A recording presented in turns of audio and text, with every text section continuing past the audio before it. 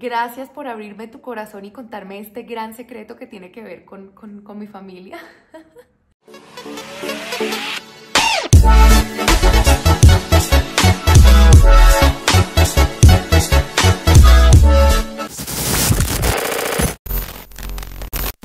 Amores míos, bienvenidos a un nuevo video en mi canal de YouTube. Yo soy Laura Tobón, bienvenidos a todos esos nuevos suscriptores, a esta familia de Lau Lovers.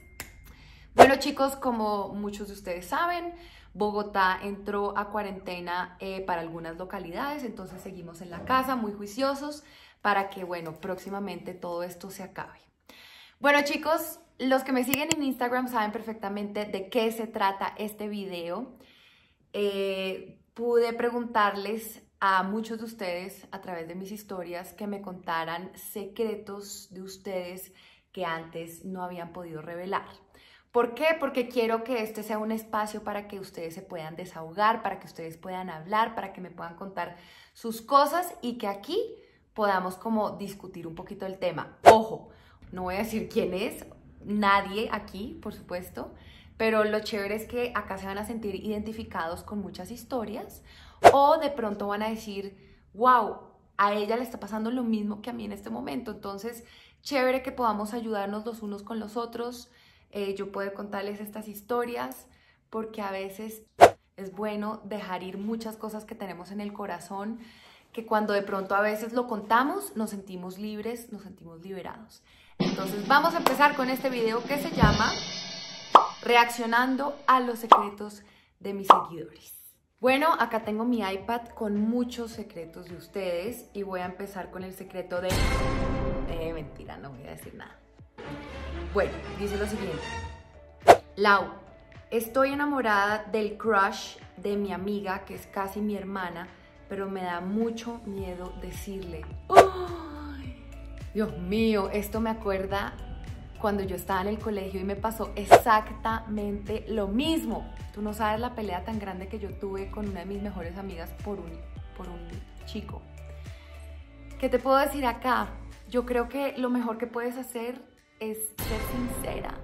Lo más bonito de una relación es cuando una amistad es abierta y ella yo creo que te va a entender y va a apreciar tu lealtad de que le contaste pero si esto sigue y continúe, a ti te gusta mucho este chico y de pronto pasa un día que ese chico te da un beso o alguna cosa pasa y tu amiga se entera y es como casi tu hermana, esa relación no va a volver a existir. Yo creo que ella siendo casi tu cuasi hermana, yo creo que de pronto le puedes decir que tienen los gustos tan parecidos que por eso también de pronto le gusta, te gusta el mismo chico, no sé.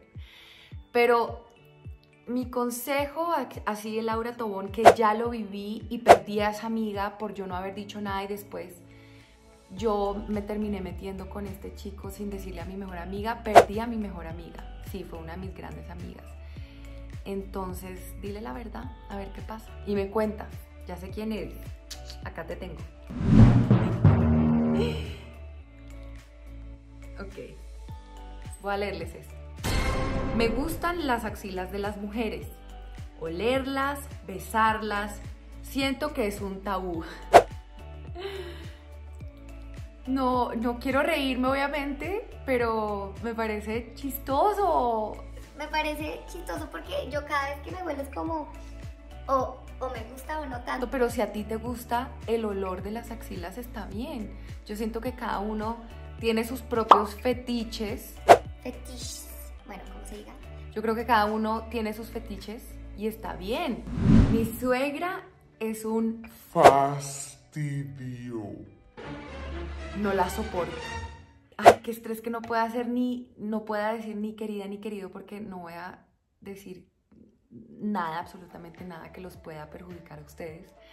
Bueno, esta persona que me acaba de escribir esto, no se preocupen que yo creo que es un sentimiento que muchas personas tienen no es un secreto que de pronto a veces a las personas... Los suegros... Uno a veces no se lo soporta. No, no, no, está mal. De pronto a veces uno quiere un poquito más de espacio o uno a veces no quiere contarles todo o uno, mejor dicho, no quiere ir a todas las invitaciones. Es normal. Yo siento que este secreto tuyo no es tan grave porque yo creo que lo compartimos muchas personas Eh, en mi caso, yo amo y adoro a mis suegros con todo mi corazón. Álvaro está ahí. Yo amo y adoro a mis suegros, pero obviamente existen límites dentro de nuestra relación. Yo los adoro, pero pues si hay algo que me molesta, les, les cuento. O si hay momentos incómodos, lo mejor es hablar. Entonces, lo que yo creo es que si no te soportas a tu suegra, lo mejor que puedes hacer es hablar o con tu pareja sobre esto o directamente con tu suegra y contarle qué es lo que no te gusta, ¿no? De pronto para que sea más fácil cada vez que pues vayas a visitarlos, ¿no? Soy novia de mi primo. No le hemos contado a nadie, pero nos amamos. No sabemos cómo decirle a la familia. Uy, qué duro, Dios mío. Les voy a confesar algo. Cuando yo era chiquita también me gustaba, o bueno, veía muy bonito a un primo mío. No voy a decir quién es porque después ve este video y después me la monta y no. Yo creo que como uno pasa tanto tiempo en familia y cuando uno es pequeño y cuando uno es chiquito, ¿con quién juega uno normalmente? O con sus hermanos o con sus primos. Entonces uno después, no sé, tiene cierta cercanía con los primos y ver que lo amas tanto y que están juntos, ya son novios, pues, ¿qué puedo decirte? Felicitaciones porque encontraste a alguien que quieres mucho, pero a la vez siento que podría ser bueno que le cuentes a tu familia, no a toda, pero de pronto contarle a tus papás para que después ellos no se terminen enterando por otro lado o terminen sabiendo y se pongan bravos porque tú no les contaste nada. De pronto sería bueno que de pronto pensaras en tomar la decisión de contarles. Además, si ellos también quieren mucho a tu primo, de pronto puede ser algo bueno. Todo puede ser algo bueno. Acá, qué bueno que se están desahogando conmigo porque me están haciendo también recordar de muchas cosas. A mí también me gustó un primo, pero bueno, creo que yo no le gustaba. Bueno, chicos, acá quiero hacer un pequeño paréntesis antes de leer este secreto y es que quedé bastante preocupada con todas las historias que ustedes me mandaron sobre abuso o maltrato. Yo quiero que ustedes entiendan que esto no puede pasar en ningún hogar bajo ninguna circunstancia. Seas mujer, seas hombre, seas niño, seas niña. Absolutamente negativo, no se puede.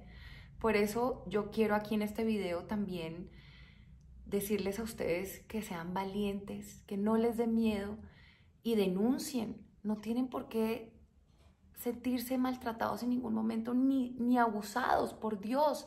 Y yo como figura pública, como una persona que puede ser su voz en este momento, que puede darles de pronto eh, unas palabras de aliento para este momento, yo les digo, ustedes no se merecen esta vida, nadie se la merece. Ustedes se merecen todo lo bonito. Y leer esto, les juro que no es fácil, pero se los voy a leer para que muchos de ustedes se sientan identificados y de pronto despierten y hagan algo al respecto ya mismo. Lau, desde muy pero muy pequeña, he tenido, pequeña, pequeño, he tenido comportamientos sexuales extraños. A veces pienso que me violaron, pero no recuerdo nada, solo recuerdo los comportamientos. Mi tío abusó de mí y he mentido. He dicho poco de lo que me está pasando y de lo que me pasó. ¿Qué puedo hacer? Es a este secreto que me refiero, este no es el único, me llegaron muchos muy parecidos y estoy muy preocupada, me duele el corazón. Acá abajo en mi canal de YouTube les voy a poner varias líneas donde ustedes pueden eh, llamar contarles lo que les está pasando y no se avergüencen. Al contrario, las personas que deberían sentirse avergonzadas son esas personas que les han hecho todo esto. Entonces, cuenten conmigo, ¿ok? Siempre cuentan conmigo. Espero que, que más de uno de los que me escribieron acá en este momento llamen. Bueno, seguimos. Lau, di positivo en coronavirus hace poco y como vivo solo, nadie de mi familia lo sabe, pero estoy bien. Bueno, a esa persona, ¿qué le puedo decir? En este momento que estamos viviendo en una pandemia gigantesca, no solo en Colombia, sino a nivel mundial, de pronto sería bueno que le contaras a tu familia. Lo digo porque de pronto tu familia te va a poder ayudar en el momento en el que tú estés muy mal, porque tú sabes que las fases de este virus a veces no son fáciles. Y si tú estás solito en la casa y nadie sabe que te está pasando esto, de pronto algo pueda pasar grave y tu familia no lo sabe. De pronto es momento de que les, cuentes y de pronto no creo que ellos reaccionen mal porque no es un secreto que a muchas personas les está dando positivo este examen, entonces no creo que tu familia reaccione mal. Me alegra que estés bien, que, que no esté grave tu coronavirus en casa, pero es mejor que le cuentes a tu familia. Yo, si fuera tu mamá, quisiera saber si estás bien. Oh my God. Dios mío. Ok, les voy a mostrar, les voy a leer este, que quedé como en shock. Fui novia de el exnovio de tu hermana, a pesar de que yo tenía 17 años. Oh, Dios mío. Obviamente no le voy a contar a mi hermana esto, porque bueno, no, no va a saber ninguna de las dos de quién estoy hablando. Pero bueno, a esa persona que me escribió esto, gracias por abrirme tu corazón y contarme este gran secreto que tiene que ver con, con, mi familia. ¿Qué te puedo decir? No es un secreto que de pronto a las mujeres pequeñas nos da como esa incertidumbre por los hombres grandes porque o son más inteligentes o son más maduros o tienen ya su vida como súper ordenada. Entonces eso nos atrae a nosotras porque yo siento que las mujeres somos mucho más maduras desde que somos chiquitas. Siento que no tiene absolutamente nada de malo lo que te pasó. Si fuiste novia de él, yo lo conozco y es una muy buena persona, entonces siento que no, no pasa absolutamente nada. Si ese hombre con el que deciden estar no es eh, una mala persona, sino al contrario es alguien muy bueno, no me parece absolutamente nada malo. Pero claro que ustedes saben que es a partir de los 18 años que ustedes son mayores de edad aquí en Colombia. Entonces, si pueden contarles a su familia que les gusta ese chico grande, pues yo creo que mejor, ¿no? Wow, hay tantos secretos, Dios mío. Siento que tengo mucha responsabilidad encima mía. Pero bueno, es chévere que podamos discutir todo esto y que muchos de ustedes digan, wow, yo me siento identificada con ese secreto, wow, yo siento que me pasa lo mismo, es chévere que podamos tener estas conversaciones juntos. Dice, amo a una mujer y estoy con un hombre, la pienso todo el tiempo y no he podido y no he podido dar el paso por miedo. ¡Wow! Qué bonito que me abran su corazón de esa manera, de verdad que qué chévere que me puedan contar estas cosas. Tú deberías seguir tu corazón tus sentimientos, porque uno no vive dos veces. Y si tú realmente amas a esa mujer y quieres estar con esa mujer, deberías sentirte orgullosa. No deberías sentir ni pena ni avergonzarte, porque hoy en día estamos viviendo en tiempos donde el amor es el amor. Y eso es lo único que cuenta. Y eso es lo, si eso es lo que tú sientes por esa mujer, pues díselo, llámala y dile porque tienes que estar con alguien que realmente no amas por seguir una tradición o por caerle bien a alguien o por estar bien con esa persona, no. Yo siento que hoy en día nosotros deberíamos seguir lo que soñamos y seguir nuestro corazón para realmente vivir. Llegamos a esta vida para vivir, para gozar, para sentirnos amados, para sentirnos queridos. Mi secreto es que una vez tenía ganas de hacer popó, vi un caño, no resistí y me hice ahí, saludos. Oigan, gracias por abrirme su corazón de esta manera. bueno, les voy a contar una anécdota.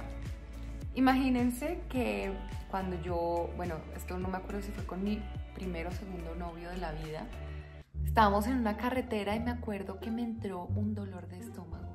Que uno dice, Dios mío, qué oso con este man. Pero me toca decirle que pare porque estoy que me hago en los pantalones. Y si este señor no para, me voy a, o sea, me voy a hacer acá. Y el caso es que, bueno, yo... Oye, qué pena, lo que pasa es que me voy al baño, estoy que me... Por favor, ¿será que puedes parar y yo, yo salgo y yo hago acá? Estábamos en la mitad de la nada, creo que estábamos yendo a alguna finca o alguna cosa y pues obviamente él paró el carro y pues me tocó en el pasto. Pero imagínense la vergüenza eh, que, que, que es que ni era pasto alto donde uno se podía como medio esconder, no era pasto así, yo creo que él me vio haciendo de todo, qué oso. El caso es que no duré mucho con este personaje, no importa. Bueno, el caso es que te entiendo y yo no me resistí tampoco. Nada que hacer. Sufro de rechazo en el colegio y gracias a esta pandemia no he tenido que regresar al colegio. Así soy feliz. Qué triste que todavía exista el bullying en los colegios, ¿no? O el rechazo, o el maltrato. Por mi lado, eh, las personas que, que me siguen en mi canal de YouTube ya les he contado un poquito de cómo fue mi experiencia en el colegio con varios compañeritos. No fue la mejor experiencia de mi vida. También sentí mucho rechazo, mucho, mucho bullying. ¿Y qué te puedo decir? Lo único que te puedo decir es que la vida se va a encargar de demostrarte por qué ellos te hacen bullying. Yo me di cuenta que con mis agresores ellos me hacían sentir mal precisamente porque ellos eran los que se sentían inseguros. Entonces tenían que hacerme sentir a mí mal para ellos sentirse más fuertes. En el momento que yo me di cuenta de esto, yo me volví más fuerte y no dejaba que esos malos comentarios me afectaran. Entonces, si tú después de esta pandemia tienes que regresar al colegio, yo de ti regresaría más fuerte que nunca, sin importar lo que digan de ti, sin, sin, sin sentirte mal por el rechazo. Al contrario, tienes que armar tú tu propio parche contigo misma. Es que no hay nada más valioso que uno saber estar con uno mismo y amarse a uno mismo y aceptarse a uno mismo. Porque cuando uno no se quiere es que también a uno le empieza a doler lo que los demás dicen. Entonces, lo que yo te podría decir y aconsejar es que ahora que estamos en pandemia, vuelve más fuerte tu corazón, ámate, acéptate, quiérete por lo que eres y vas a ver que nada ni nadie te va a poder hacer daño. Esto me pasó a mí y te lo juro que me cambió la vida. Vas a ser una persona muy feliz cuando te des cuenta que la magia está dentro de ti. Bueno chicos, espero que les haya gustado este video, que hayan visto todas estas historias, todos estos cuentos, para que ustedes se puedan de pronto identificar con alguna de estas historias, eh, unas más fuertes que otras, gracias por abrirme sus corazones. Como les estaba diciendo en la mitad del video, acá estoy para ustedes, acuérdense que yo puedo ser no solo una persona que está ahí en, la, eh, en sus pantallas, sino que también puedo ser una amiga, puedo ser alguien en quien ustedes puedan confiar, en quien puedan contar. Eh, gracias por, de verdad, por darme la oportunidad de, de saber sus secretos.